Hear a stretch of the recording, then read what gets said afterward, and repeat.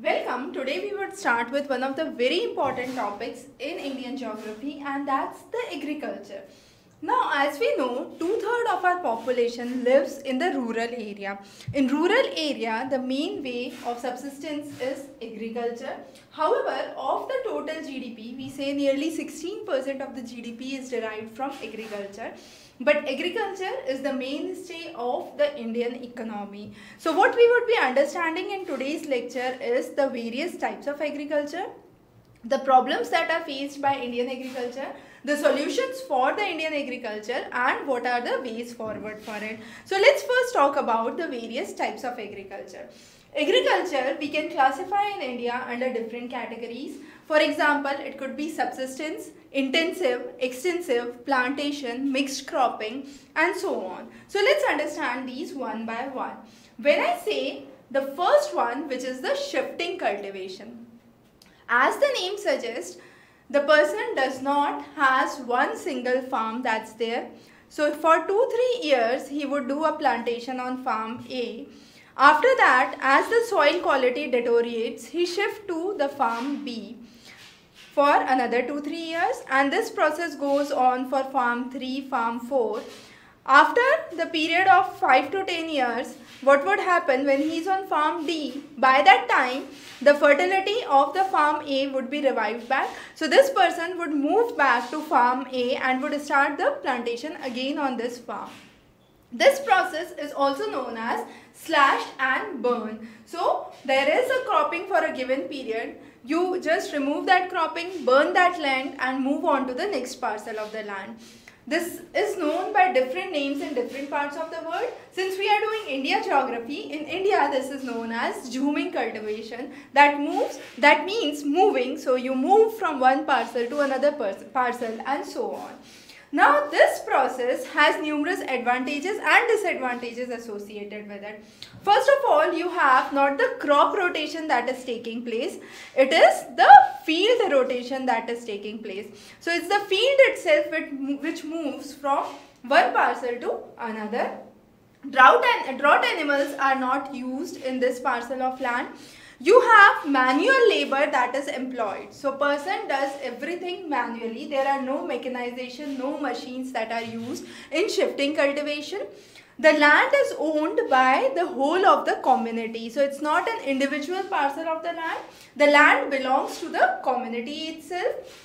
A variety of crops can be grown here. But the major drawback is the ecological problem. Since you are leaving the land barren for a couple of years there would be problem of soil erosion there would be problem of siltation waterlogging and water flow everything would be associated with that barren land so therefore ecological problems restoration of the ecological uh, characteristics there is something that's a primary concern and therefore we are not promoting shifting cultivation as a means of agriculture.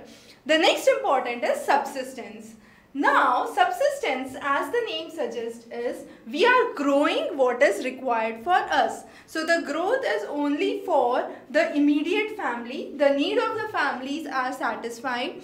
There is no idea to sell the crop into the market. So, everything is grown for the family and the needs of the family are satisfied with that crop. Now this pattern has grown over the years because of the small and fragmented lands let's say the grandfather has this parcel of land. It was divided among the sons into two parcels. His sons further had three sons so this parcel further divided into three patches. Now with this small parcel of land that each one is having what would happen? They can only satisfy their own needs.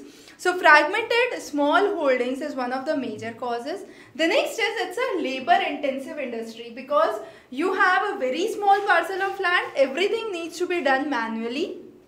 Machines mechanized equipments cannot be brought or introduced onto that parcel of land.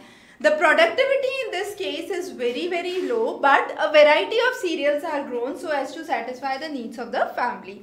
The next important cropping pattern is intensive cultivation. Intensive cultivation means you have this parcel of land. On this parcel of land, uh, if uh, let's say if this is decent for uh, 100 peoples to thrive in, But on this parcel of land, there are 1000 people. So what happens is with the same parcel of land, you have a lot of population that is dependent on it. Very commonly seen in India where you have a high population that's there. You have more than one crop that is harvested in a year. So many crops are grown in a year in order to satisfy the needs of a huge dependent population on that parcel of land. Manual labor is employed. Multiple crops are being grown in this region crop rotation is important. Now in shifting cultivation we saw there was field rotation. Field itself was moved. Here the field remains the same. The crops are moved one after the another. So crop rotation is important. Draught animals are used. It's used to support the family. The regions of Indo-Gangetic plains are the classic areas where you have intensive agriculture or intensive cultivation that is seen. The next is extensive agriculture. Extensive agriculture or extensive cultivation is seen in the areas where you have huge land and very few people dependent on that land. A good example would be let's say the American continent. So in North America you have a huge parcel of the land and you have a very few population that is dependent on that region. So you have an extensive cultivation. Now whenever you have the land that is big what would happen? Tractors could be introduced. You can have mechanization that can be introduced. So mechanized farming, tractors uh, would be there. Population would be very less. So we say sparsely populated areas yield is usually low. So low yield is there but the croppings are mainly in the form of wheat cultivation. So wheat is a primary form of uh, crop that is seen here. Now since you have mechanized systems that are there, huge land that is available, commercialization has taken place and since there is commercialization they tend towards export and selling the products. So export of products, selling those products into the market or selling the crop into the market becomes important. So the aim is revenue generation there. The next important is plantation. Now in India, plantation was introduced during the British period. So when British invented India, they found out the parcels where certain crops could be grown. Usually plantation agriculture is seen only with one specific crop. So for example, let's say in the region of Darjeeling, uh, you have only tea cultivation that's seen. In the regions of Kerala, you have only rubber cultivation that's seen. So that means specific areas you are having only specific crop that's grown. No multiple cropping seen in these areas established by British companies and these regions were known as estates. Estates were the area where you had more than 40 acres of the land that was seen. And with this huge parcel of the land, there was specialized labor that was brought in to work for this plantation agriculture. So for tea plantation, there was specialized labor coming in.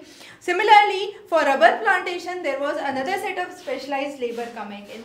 With this specialized labor, you had only one crop that was grown and since there was only one crop that was grown, this was known as monoculture. So monoculture again becomes a very important concept here. The next important aspect here is these are mainly done in tropical regions. So tropical regions are the regions, so regions of Indonesia uh, are another areas where you have a lot of plantation agriculture that was seen. The next is mixed farming. As the name suggests, we are trying not only to grow the crops but along with crops we have another objective and that is livestock. So when we say doubling the farmers India uh, income 2022 vision we say diversification of the income and this diversification of the income would come from this diversification of the income would come from cropping as well as allied activities. So it could be in the form of livestock, it could be in the form of fisheries in the coastal areas. So this mixed farming reduces the risk burden on the farmer. If there is a pest infestation in agriculture, he can earn his livelihood from the livestock. If there is a pest uh, infection in livestock, he can earn his livelihood from the crops. So there is reduced risk Animal products which are obtained from livestock could be sold and this could be an extra income. So diversification of the income is something that's part of it.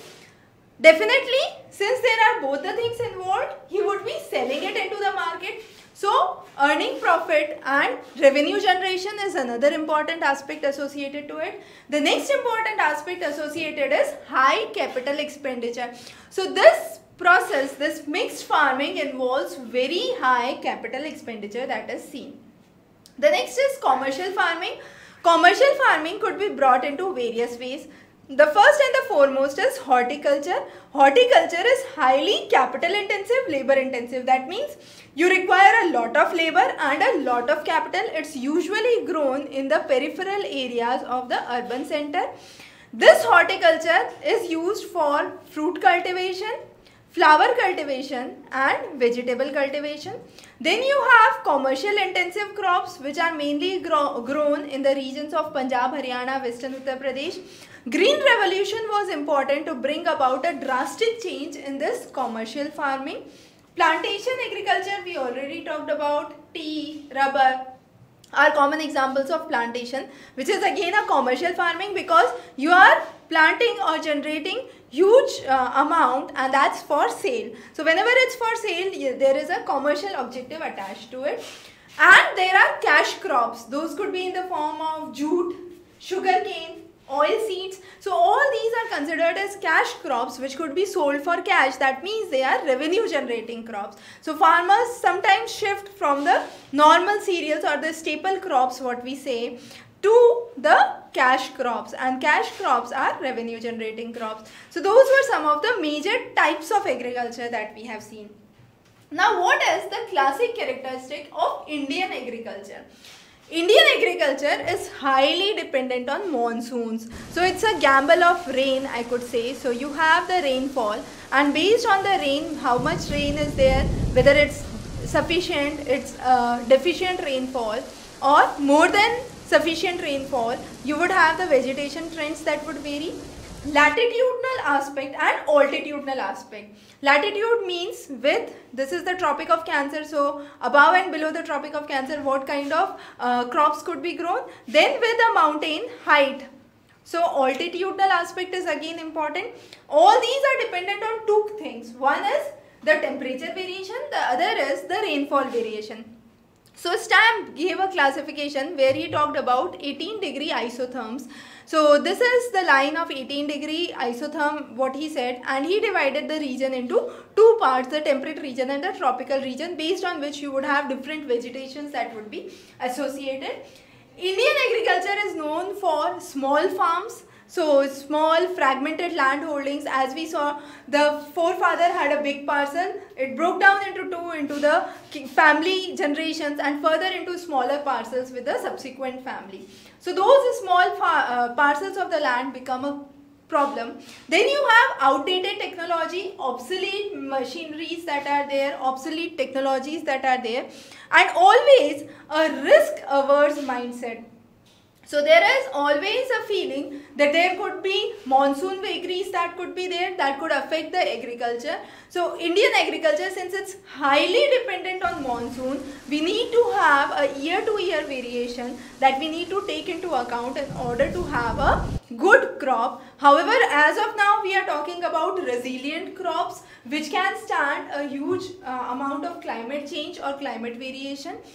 Indian agriculture is suffering from numerous problems. First of all, as we know, is the small farm size. Because the farm size is small, you cannot bring in mechanized equipments. Mechanization, modernization, uh, technology is not possible.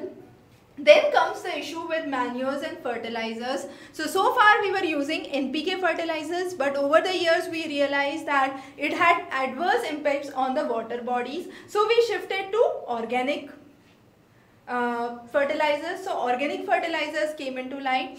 Also there is a lot of problem of wasteland, barren land and soil erosion that is associated with the Indian uh, soil.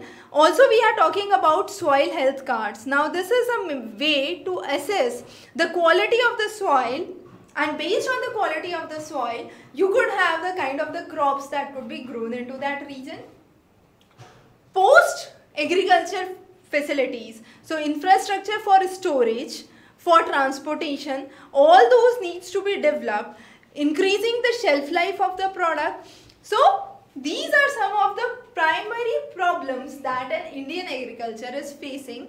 And then moreover the problem of poverty stricken rural areas. So credits to the farmer is important. We have numerous schemes like mudra scheme coming up. And this mudra scheme is providing uh, loan and credit facilities to the small and the marginal farmers. So those are some of the major problems that needs to be uh, addressed. Similarly, for irrigation, we have the Pradhan Mantri Krishi Sinchai Yojana that's coming in. We have more crop per drop. So, concept of drip irrigation is coming in. Conserving water, maximum utilization of water. So, those are some of the ideas which are propounded in line of the problems that are associated. So, we first need to address the problems. Once we know the problems, we have the respective schemes and the solutions that are up. So, it all started post-independence during the time of Jawaharlal Nehru where uh, there was a concept of building multi-purpose dams and these multi-purpose dams aimed at increasing the agriculture, increasing the electricity, increasing the power generation. So they were called as multi-purpose projects. This multi-purpose projects led to a revolutionary production or uh, providing water to the farms. Then you have consolidation of the land holdings. So all the small fragmented holdings, it needs to be consolidated. A lot of efforts were taken place post independence but still there needs to be reworking of consolidation that needs to be addressed. We have the National Seed Corporation that's there looking for seed subsidy to the small and the marginal farmers, talking about subsidies on fertilizers, manures, urea and now we also have the concept of neem coated urea that's coming in. We have growth of shelter belts, uh, prevention of uh, gullies. So protecting the surrounding is something that's very very important for preventing the soil erosion for increasing the shelf life, we have good storage that's coming up, warehousing corporations that are coming up and in light of all this, green revolution is something that needs to be addressed. This green revolution occurred in two phases. The idea was to increase the production. To increase the production, there was higher use of fertilizers, there was higher use of HYV seeds and more uh, use of mechanization that was seen. The regions which benefited most with the Green Revolution was the regions of Punjab, Haryana and Western Uttar Pradesh. However, later on there were drawbacks associated to Green Revolution that were realized in terms of the soil quality, in terms of pollutions in the water body that's going through the fertilizers or the use of synthetic fertilizers decrease in the water table the groundwater table started to reduce since a lot of water was being pumped for irrigation reducing the water level uh, in the underground structure. So there were dark zones and gray zones of water that were created. So those were some of the important aspects. The next important concept that we need to understand is the classification of agriculture crops. We classify this based on two aspects First is the season of growth that is Kharif, Rabi and Zaid which we would understand in a while. The next is based on the crop usage. Based on the crop usage we can say there are food crops that are used for the food purpose. There are cash crops like sugarcane, jute which are used for revenue generation. There are beverage crops like tea, coffee. You have fiber crops which are again jute we can say. Hemp is a good example. Then you have oil seeds Oil seeds, a lot of production is seen in India. So linseed, mustard are some of the good examples for it. And then spices commonly seen uh, in the regions of Kerala and the parts of Western Ghat where you have very high spice production. Spices have been uh, exported to the Midwest to the parts of Europe since the time you had the British advent that took into India. Now based on the seasons of growth, as we said there are three cropping patterns. Those are Kharif, Rabi and Zaid. The best way to remember here is the Kharif crop is uh, sown during the monsoon months. So late April, May or we technically say June and it's harvested in the month of nearly October.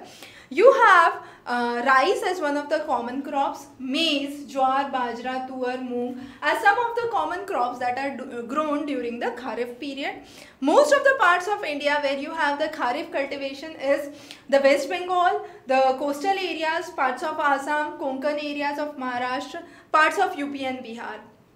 Then comes your Rabi crop. Rabi crop is sown during the winter months and harvested during the month of April and May.